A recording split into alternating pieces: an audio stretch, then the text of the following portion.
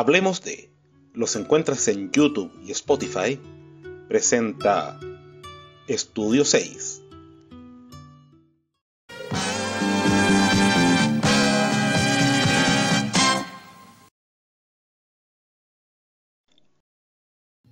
Hoy en Estudio 6, Un trono por un amor.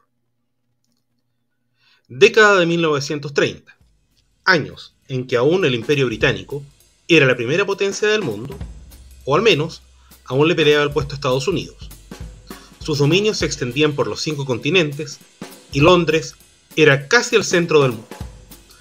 Por lo mismo, más allá de que su poder fuera más simbólico que efectivo, era de esencial importancia quién ocuparía el trono británico. Y hasta 1935 el mundo respiraba tranquilo. El cargo era ocupado por el siempre prudente Jorge V, querido y respetado por todos, pero no todo era perfecto en el horizonte.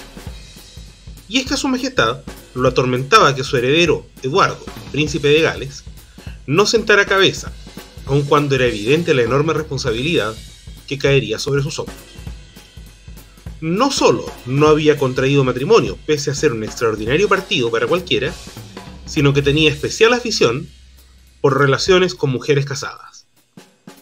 Daba la impresión en opinión del rey, de que su edad mental estaba estancada en la adolescencia, por su incapacidad de comprender la carga de ser heredero del trono británico. Para peor, aunque las comparaciones siempre son odiosas, tenía a su lado su hermano Alberto, también conocido como Bertie, el duque de York, que pese a sus desventajas, tales como ser tartamudo, había logrado formar una familia ejemplar junto a Elizabeth Bowes Lyon, lo que representaba una imagen más propia de un heredero al trono que la que daba el príncipe de Gales. Incluso la hija mayor de ese matrimonio, Isabel, era la regalona de su abuelo real, al punto que no perdía ocasión de manifestar, más o menos directamente, que esperaba que al final del día nada se interpusiera entre Bertie y la niña y el trono. Pero el príncipe Eduardo, como si nada.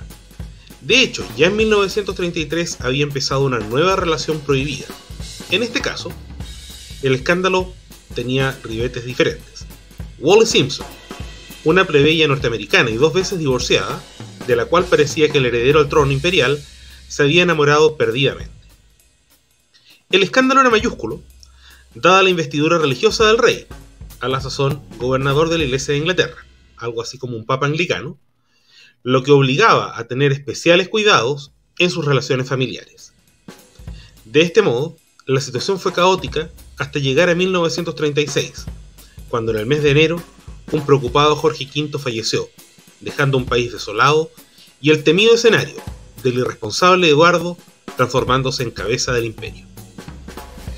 Y tal como temía el finado Jorge, el escándalo se hizo notorio el día siguiente de su muerte, cuando el flamante rey, al recibir la adhesión de sus súbditos ingleses, se asomó a una ventana del Palacio de St. James con Wally Simpson al lado. Así, partieron una serie de eventos que daban mala impresión. Durante el funeral regio, la corona se cayó de encima del ataúd en movimiento, lo que fue interpretado como una señal de mala suerte.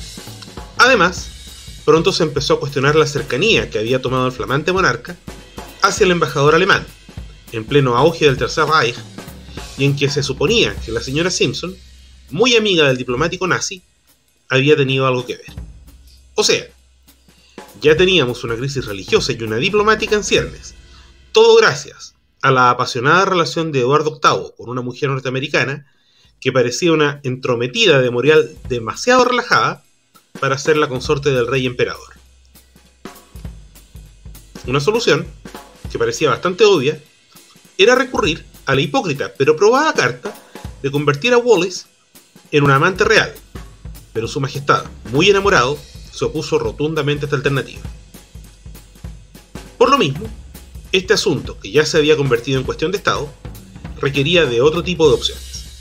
Una era casarse y hacer oídos sordos al escándalo, convirtiendo a Wally Simpson en reina. Por otro lado, estaba la opción del matrimonio morganático, en que ella se casaba con él, pero sin el título de reina, y excluyendo a sus eventuales descendientes de la línea de sucesión al trono. Y en tercer lugar, Eduardo abdicara al, trono, pudiendo luego casarse libremente.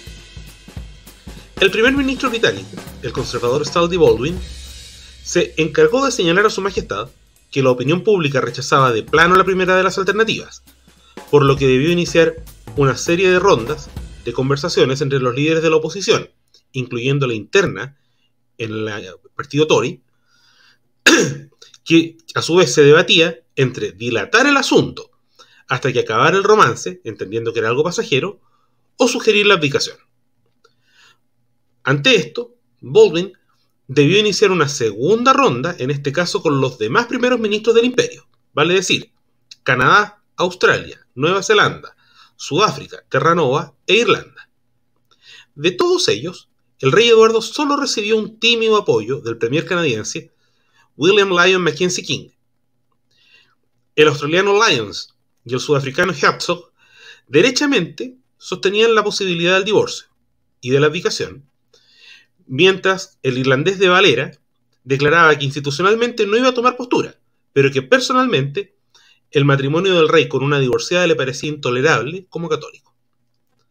Esto significaba la crisis institucional más severa vivida en el imperio a lo largo del siglo, y todo por el irrefrenable amor de Eduardo y Wallis. Y es que el rey estaba dispuesto a pasar por encima de sus responsabilidades religiosas e institucionales con tal de preservar su relación. Así, hubo una constante tensión hasta el 10 de diciembre de 1936.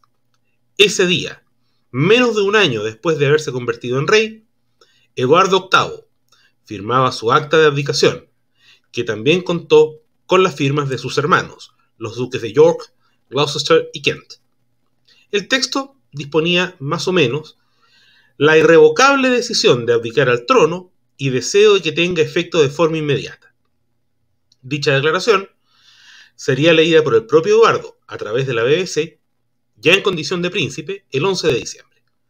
Al día siguiente, dejaba el país junto a Wally Simpson, mientras su hermano Bertie, con el nombre de Jorge VI, asumía la jefatura de Estado del imperio, cumpliendo de forma rocambolesca el anhelo de su padre de llegar al trono.